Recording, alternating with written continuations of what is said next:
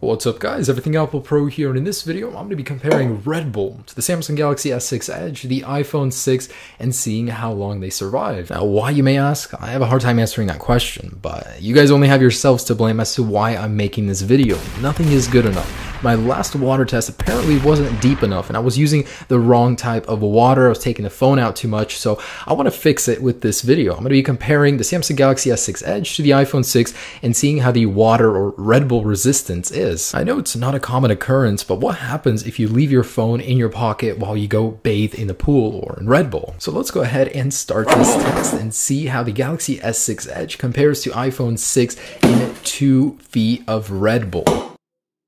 Alright, so here's the setup. We've got about a two foot tall uh, cylinder, half a foot wide, and this will create some sort of pressure. A lot of people were saying I didn't have enough pressure because it was so shallow. Well, is this enough pressure for you? I'm going to go ahead and put these guys in here once it is full with Red Bull. And I'll have them sitting just like that, all the ports open and ready to be pumped full of Red Bull. So uh, let's go ahead and fill it up and then lower these guys in there and see how long they last. All right, and just a disclosure, I just want to mention I'm not getting paid a single cent by either Red Bull, Apple, or Android. And I just want to add, drink Red Bull. It gives you wings. Red Bull's an unaffiliated trademark copyright. Now, both the iPhone 6 and Galaxy S6 don't feature any water resistance ratings, so the point of this video is to test what would happen if they did get submerged. Now, to be completely honest with you guys, I feel a lot worse wasting Red Bull than phones. I mean, I'm used to that, but this...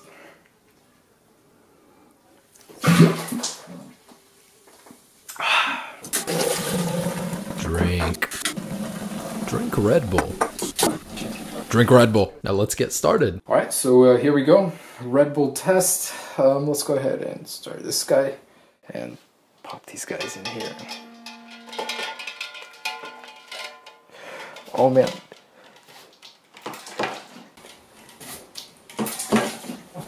So it's doing some funky things.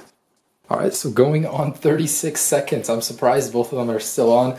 So they're submerged about in a foot and a half to two feet of Red Bull. As you can see, both are still alive. I have no idea what that says. It swapped languages. And uh, let's just see how long these guys can last for. So I don't know if the carbonation or the stickiness, the sugar of water will have anything to do with it. And it looks like the iPhone is restarting. Uh, looks like the iPhone is still going. Um, it restarted Samsung Galaxy S6 is still doing its own thing, so let's keep this going. Alright, the iPhone is awake again. Drink Red Bull. And the Galaxy is doing its thing. iPhone 6 is still awake, so we're about two and a half minutes in. Now, both are doing surprisingly well. I didn't expect them to last so long. The sugar in the Red Bull thought would take care of these phones faster, but let's go ahead and uh, see how this keeps going. And I just wanted to give you an idea about how tall the cylinder is. I understand I didn't show you guys earlier, so it's about two feet tall, half a foot wide. All right, so we're approaching four and a half minutes, still going strong. I can see a whole bunch of the carbonation is coming out of the phones, out of the Red Bull.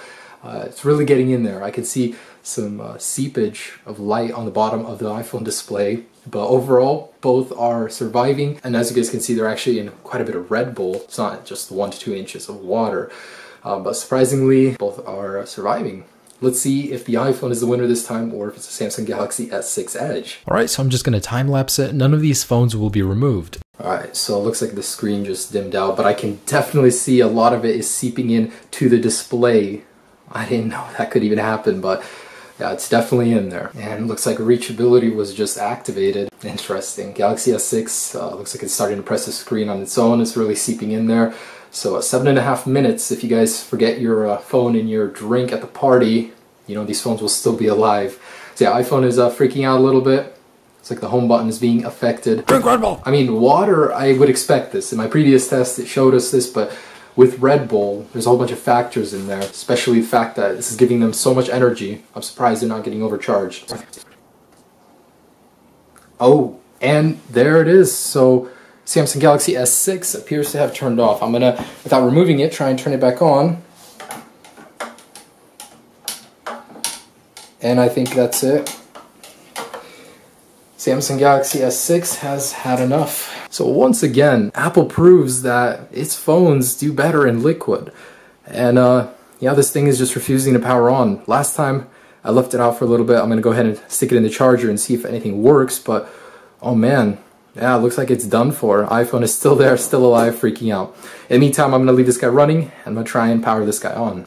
So, my hands are super sticky, but yeah, definitely got all in there. Good luck trying to revive this guy, but against what you should do, I'm gonna go ahead and try and plug this guy in, see if anything happens. Oh, so the screen has come on. Oh, never mind.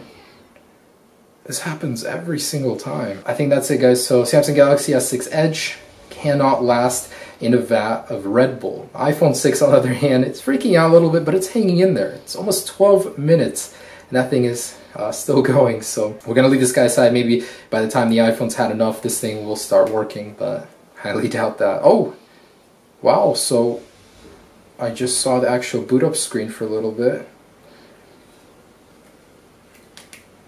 And never mind. So I'll keep trying in case this thing does turn on. So at about 13 minutes, I started noticing this weird thing going on with the screen. Uh, it's crawling up towards the top of the display. looks almost like a stock chart. Maybe for Apple. Maybe I've just unlocked time travel through my phone display and it's showing me Apple stock for the next six months. Well, you don't have to thank me. I'm giving it to you for free. This guy's throwing out some weird signal temperature. Thinks this thing is heating up. 78% battery, so let me try and power it on. It's been doing a lot of weird things. It went into download mode, some weird menu, keeps restarting, then it shows the actual startup screen, and a little red icon right there, uh, LED light. But I can't get this thing to power on. Just keep showing this. Alright, so we're at 17 and a half minutes.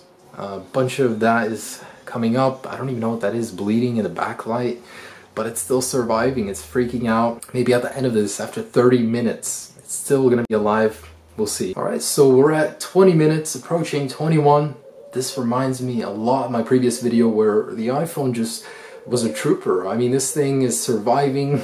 I don't know what Apple did to them, but they seem to resist liquid very well. And uh, I mean, it's still freaking out.